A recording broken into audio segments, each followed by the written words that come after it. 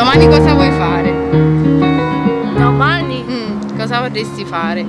Eh, Dove vorresti andare? a scuola, A scuola, perché vorresti andare a scuola?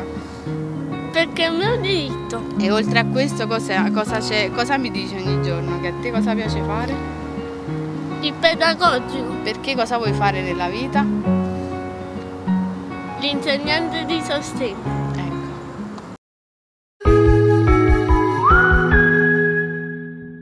Mara ha 15 anni e da grande vuole fare l'insegnante di sostegno. Mara va alla scuola Pansini, un liceo classico di Napoli che dista 25 km da casa sua. Mara è cieca, ma questo è un dettaglio che non dovrebbe influenzare i suoi diritti e i suoi sogni. Nei fatti però purtroppo lo fa. Il Panzini è troppo lontano da casa nostra. Siccome la provincia non si fa carico di questo, di questo trasporto, io in qualità di madre, noi come genitori non possiamo far fronte ad una spesa troppo alta per noi. Per questo la madre di Mara si è recata in un'altra scuola più vicina, la Matilde Serao, chiedendo la disponibilità ad ospitare la ragazza. E sentite che cosa racconta a fanpage.it.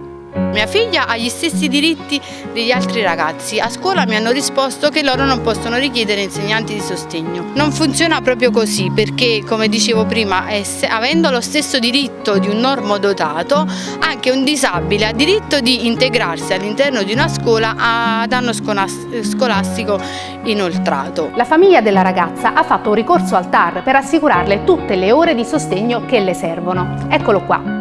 Ma questo evidentemente non è bastato ad assicurare alla giovane Mara il diritto allo studio. Questa è la richiesta che io ho presentato alla preside e che lei mi ha eh, cortesemente rifiutato. Lei eh, nel momento in cui io l'ho presentata eh, lei mi ha dato il suo rifiuto, ho chiesto alla preside di mettermi per iscritto sotto la motivazione e lei non ha voluto. Noi adesso iniziamo ad avvertire il provveditorato di quanto è successo, vediamo che risposta ci dà e vediamo poi l'evolversi della situazione. Noi abbiamo provato a sentire anche la preside dell'istituto per ascoltare la sua versione. Purtroppo però ci è andata male, sentite. Mi chiamo Gaia Eh, Bozza e sono una giornalista. Eh, perché dovevo Eh. parlare con lei?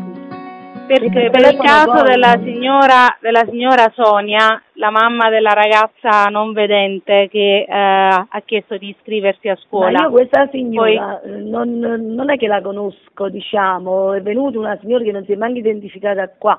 Eh, lei io ha non, chiesto io non sono tenuta a parlare per telefono con lei Guardi, e nemmeno con una so- persona che spiego. quando viene nella scuola non si identifica e si comporta male, mi sbatte la porta in faccia e se ne va. Mi scusi tanto, eh. Le spiego, io sto facendo un pezzo Che dire, per chiudere questo servizio ci affidiamo alle parole di Mara, che speriamo facciano breccia nel cuore delle istituzioni scolastiche. Cosa vorresti dire a chi dice che non c'è posto per te? Cioè, che si devono vergognare. E poi? E poi Che è un tuo diritto fare cosa? è un mio diritto andare a scuola.